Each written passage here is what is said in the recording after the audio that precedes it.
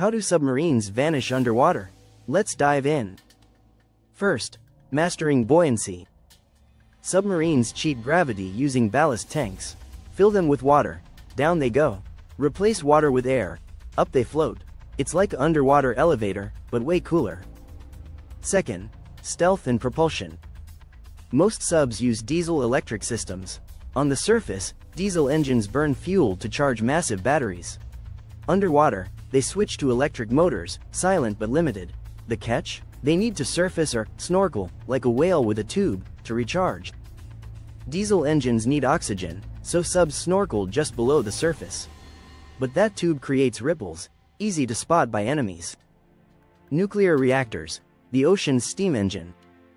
Nuclear subs run for years on uranium cores. Diesel subs? They're snorkelers surfacing to breathe air. But stealth is their superpower. Rubber tiles absorb sonar, and electric motors run silent. The ocean becomes their cloak of invisibility.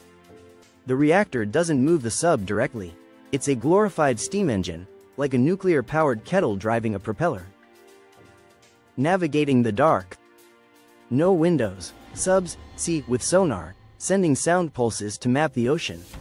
One wrong move and they hit trenches or icebergs. Oh, and periscopes? Only for sneaky peeks above water. Sonar range can be one hundreds of miles.